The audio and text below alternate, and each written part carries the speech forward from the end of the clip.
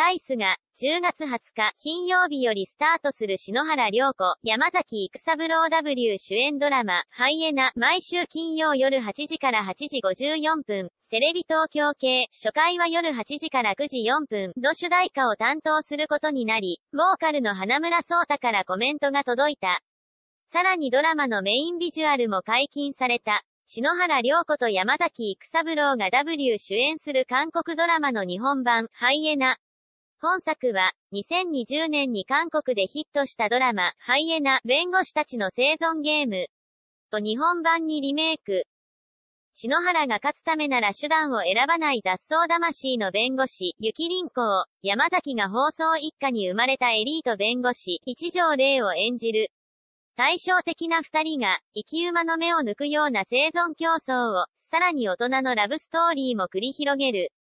篠原と山崎は本作がテレビ東京ドラマ初主演となり、崎本美織、中尾明義、久保田祐希、牧田スポーツ、大友カレン、八木優生、ファンタスティックス、高橋克典らも出演する。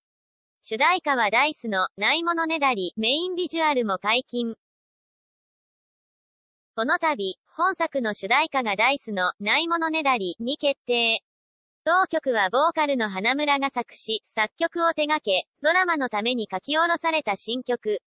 サビのリフレインするフレーズと W ボーカルの掛け合い、そして、姫の、ないものねだり、が印象的な bouncy pop となっている。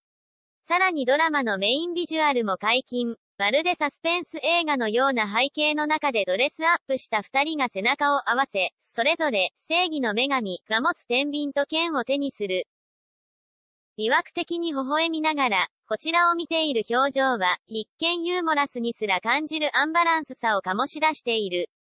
正反対な二人が繰り広げるスリリングな生存競争ラブストーリーを予感させるビジュアルに仕上がった。タイス、花村聡太コメント、カプチーノのようなワイルドでマイルドな曲。この度新曲、ないものねだり、がドラマ、ハイエナの主題歌に決定しました。